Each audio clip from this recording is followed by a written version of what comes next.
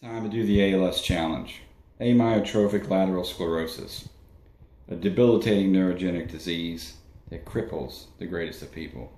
What I'm about to do is a walk in the park compared to what these people go through every day. So please give to ALS. I'm going to start with a nice cool glass of ice water.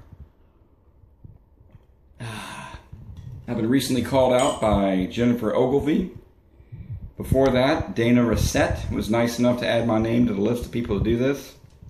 I'm going to happily do this, and I'm going to also give money to ALS.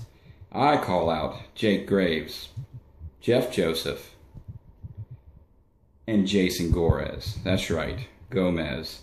I know you can top this. You can do better than this. So do your best and give to ALS. And here we go. You